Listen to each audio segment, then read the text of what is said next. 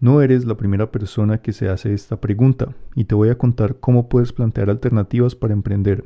Empieza haciendo un listado de las 10 cosas que más disfrutas hacer. Luego, un listado de hasta 10 cosas que sepas hacer, temas de los que sabes o conocimientos que tengas o inclusive cosas que hayas estudiado con anterioridad, tu carrera universitaria, entre otros. Después, 10 cosas en las que eres bueno. Le puedes pedir ayuda a alguien para que te lo diga, que te diga en qué eres bueno. Y para terminar, haz un listado de problemas y ojalá problemas de la humanidad o la sociedad que te gustaría solucionar. Muy bien, ahora a todos estos listados y elementos juntos yo los llamo un mapa de activos personales con conocimientos, capacidades, pasiones. Y a continuación viene el desafío. Vas a tomar un solo elemento del mapa y vas a plantear un negocio alrededor de ese elemento, entendiendo por negocio a una actividad que te genere ingresos. Por ejemplo, yo tomo el elemento que dice edición de videos para YouTube. Entonces pregunto, ¿qué negocio puedo plantear con esa habilidad que tengo?